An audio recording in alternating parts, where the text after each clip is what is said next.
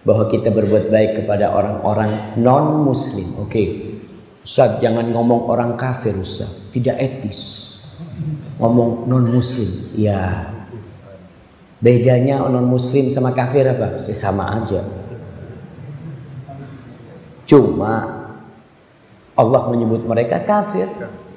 Dan orang-orang kafir menyebut kita kafir. Sama. Apakah orang-orang Nasoro menyebut kita non Nasoro?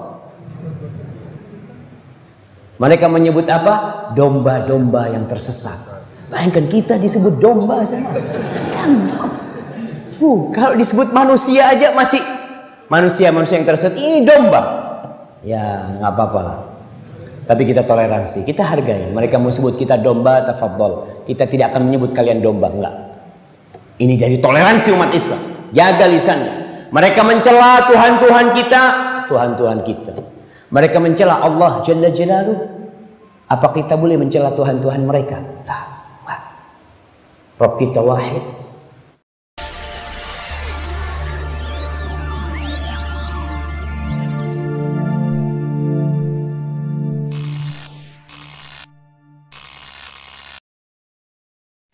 Assalamualaikum warahmatullahi wabarakatuh. Saudara-saudara Kang RC di mana pun Anda berada Jumpa lagi bersama Kang RC dalam konten yang menarik Dan tentunya layak untuk diperbincangkan. Kita sering kali mendengarkan istilah kafir. Istilah kafir ini sering digunakan oleh orang-orang yang ingin menjatuhkan Atau memberikan tuduhan terhadap orang lain Demi untuk berbagai macam tujuan. Bisa dengan tujuan politik, tujuan ekonomi, serta masih banyak tujuan-tujuan yang lainnya. Sehingga dengan istilah kafir ini ketika dituduhkan terhadap orang lain maka akan mengarah terhadap perbedaan ideologi ataupun kepercayaan bahkan keyakinan yang lain di luar diri kita.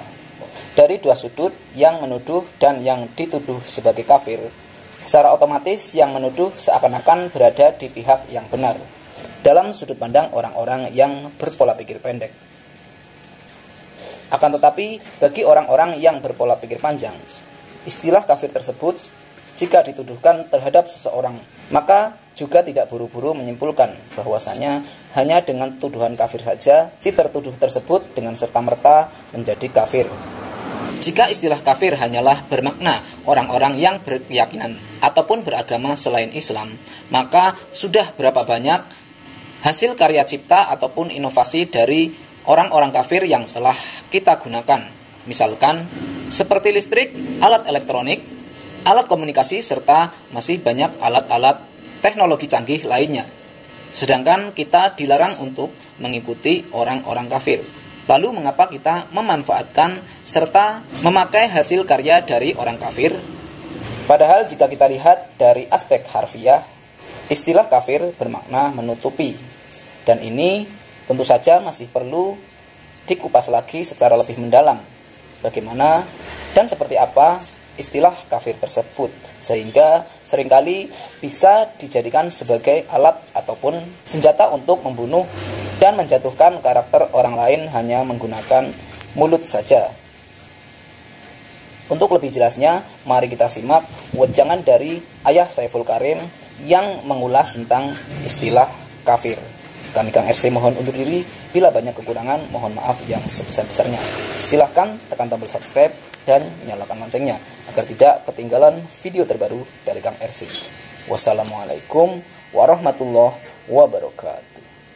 Wah, pusing pasti ya. Hmm. Ya kita belajar agama nggak jelas, belajar ilmu pengetahuan nggak jelas. Jadi nggak ada yang jelasnya. Semua ukur cek yang cenah, buahna lebat kumeren. Betul apa tidak? Gak ada kepastian di sini. Saya sering tanya, eh kalau kamu nanti mati, kau kembali pada Allah atau nempel di pohon mangga? Hmm. Jawabannya walau alam terus. Gak jelas. Itu yang namanya judi itu itu. Membiarkan masa depan kita dalam ketidakpastian. Hadirin, tidak ada yang lebih pasti dari kematian. Tapi kenapa kita selalu mengurusi yang tidak pasti yang bernama kehidupan? Kematian yang pasti tidak ada yang menyiapkannya. Besok kita mungkin mati, lusa mungkin kita mati itu pasti. Pertanyaannya, saat saat itu datang, kita sudah siap pulang, udah tahu jalannya belum? Sampai Allah itu berkoar-koar ya di Quran surat al, apa itu? Al-Waqiah itu. Falaula idza balagotil hulkum wa antum hina idin tangdurun wa nahnu aqrabu ilai minkum walaki la tubsirun.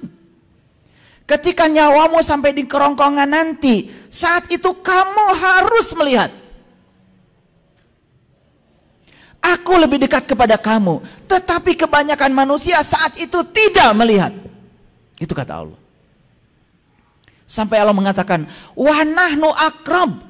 Sungguh kami tidak dekat kepada kamu. Tapi kenapa saat itu kamu tidak bisa melihat? Kenapa? Karena mata kolbu kita masih buta. Masih tercover, masih tertutup. Dan selama hidup kita tidak berjuang untuk membuka mata itu. Kita hanya hidup dengan satu mata yang namanya mata lahir. Walaupun mata ini dua, dua-duanya mata lahir. Makanya siapa pun yang menggunakan mata lahirnya saja dalam hidup tidak menggunakan mata jiwanya, itu yang disebut dengan dajjal. Itu yang disebutkan si mata satu itu itu. Di internet macam-macam orang menggambarkan dajjal. Matanya satu. Lolong bonconong hiji. Hmm. Itu ngarang. Dajjal itu si mata satu. Orang yang melihat kehidupan hanya dengan satu mata, yaitu mata lahir. Makanya orang yang semacam itu hidupnya selalu tertipu. Karena dia hanya bisa melihat bungkusan luarnya saja. Dalamnya dia tidak bisa lihat. Karena untuk memiliki untuk memiliki penglihatan ke dalam kita tidak bisa menggunakan mata itu. Mata ini adalah mata lahir, sebangsa kornea mata, sebangsa darah. Dan mata lahir, mata materi hanya bisa melihat yang bersifat materi. Tapi mata kolbu, mata jiwa, mata itu yang diberikan Allah kepada kita. Itu mata itu memiliki jangkauan yang sangat luar biasa. Bahkan lebih tajam dari laser, lebih tajam daripada sinar X. Sinar X, ronsen. Ketika orang yang patah tulang, untuk tahu berapa banyak patahan di dalamnya, pakai ronsen semuanya kelihatan. Kenapa? Karena sinar itu frekuensinya tinggi. Dia bisa menembus lapisan daging dan bisa masuk ke lapisan terdalam. Bahkan tulang mana yang berantakan kelihatan. Itu sinar ronsen, itu sinar biasa buatan manusia. Kita memiliki cahaya yang lebih tinggi lagi dari itu. Namanya nur ala nur. Lebih tinggi lagi frekuensi dari itu. Kalau sudah bisa menggunakan itu, kita bisa tembus semuanya. Ini bukan ilusi. Bisa dibuktikan, bisa dinyatakan. Bagi mereka yang tahu ilmunya, tahu caranya. Yang nggak tahu ilmunya, tahu caranya, jangan komentar. Kalau nggak tahu. Ini nggak tahu komentar. Orang yang dangkal pengetahuannya memang begitu. Gampang menyalahkan orang lain. Gampang menghakimi orang lain merasa dirinya paling benar. Yang paling berbahaya ini adalah orang yang menyatakan dirinya saya sudah tahu. Siapa pun yang mengatakan saya sudah tahu, dia tertutup dari pengetahuan baru. Dan itu yang disebut oleh Quran kafaro. Kafaro itu cover, cover itu tutup. Dia menutup dirinya dari semua pengetahuan baru. Itu yang disebut dengan orang kafir. Jadi orang kafir itu bukan orang yang berbeda keyakinan dengan kita, bukan. Tapi mereka yang menutup diri merasa paling benar. Dan orang yang menutup diri, satu, telinganya mati. Kalau telinga sudah mati, tidak ada yang masuk lewat telinga. Tidak ada informasi yang masuk lewat telinga. Yang kedua, otaknya mati. Kalau otaknya sudah mati, berikutnya daya kritis mati, daya kreatif mati, kemampuan berkomunikasi mati, kemampuan berkolaborasi mati. Apa jadinya? Sudah merasa asik aja di dunia sendiri, merasa diri paling benar. Merasa diri paling suci. Suatu saat sentuh saja sedikit binatangnya keluar. Gampang kok untuk mengeluarkan binatang pada diri orang yang mengatakan dirinya suci. Pinjemin uang aja. Gampang kok. Pinjemin uang. Janjikan aja sehari, besok jangan dibayar dulu. Keluar tuh binatangnya tuh. Gampang kok. Makanya saya kalau mancing binatang gitu. Hmm. Keluar tuh binatang-binatangnya keluar itu. Aslinya keluar. Makanya lihat manusia itu sederhana. Jangan di sini lihat orang, jangan di sini. Di sini semua sedang berpura-pura baik. Hmm. Maaf ya. Hmm. Kan di sini mah semua rapi, sabar, kelihatannya. Soleh, kelihatannya. Betul? Kalau lihat aslinya manusia jangan di sini. Di luar sini di kehidupan nyata. Di situ aslinya. Coba kalau ingin lihat aslinya kalian tuh begitu keluar injak aja sendalnya. Nyolot itulah aslinya. Hmm.